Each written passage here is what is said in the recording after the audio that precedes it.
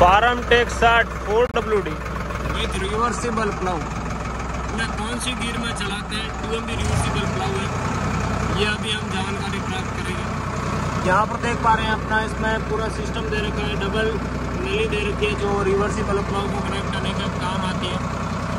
तो दोस्तों इसमें हमने अपना एल थ्री गियर लगा रखा है। यानी जो हमारा छोटा गियर है उसको हमने अपना कछुए की ओर कर रखा है यानी पीछे कर रखा है। जहाँ पे आपका कुछ गियर में एल लिखा रहता है और आगे एच लिखा रहता है। एल की ओर कर रखा है और मेन गियर में अपना हम तीन नंबर लगा रखे हैं।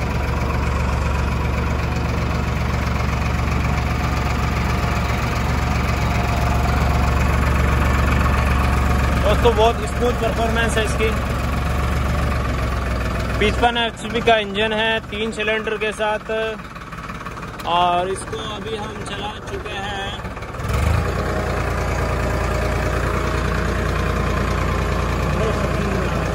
नौ सौ सत्तावन घंटा इसको हम चला चुके हैं।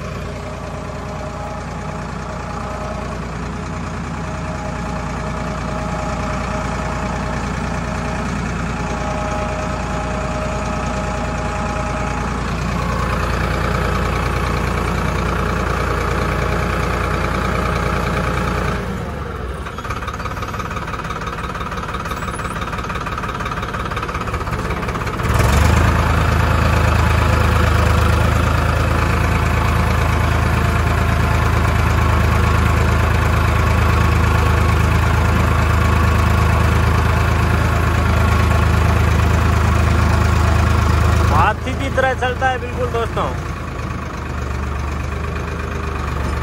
और ऊपर बैठे हैं तो ऐसा लगेगा कि हाथी पर चढ़े हुए हैं।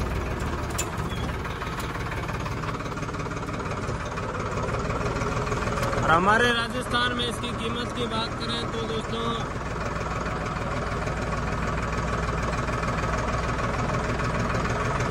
आठ लाख से लेकर दस लाख के बीच रहती है।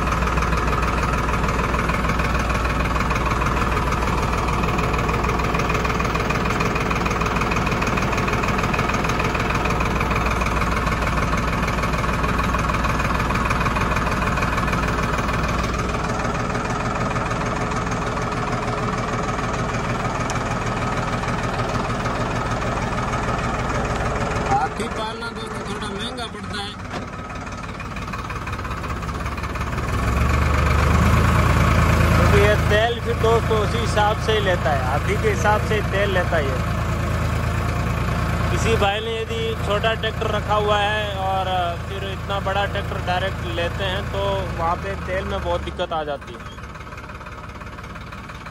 क्योंकि अच्छा दबा कर चलाते हैं तो घंटे का छः लीटर के लगभग ले लेता है आराम से।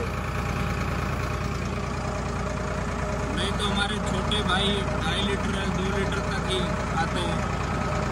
लेकिन ये ज़मीन ज़्यादा निकलेगी। यदि ज़मीन की दृष्टि से देखें, जुताई की दृष्टि से देखें तो इसका काम ज़्यादा होगा, उतने ही तेल में।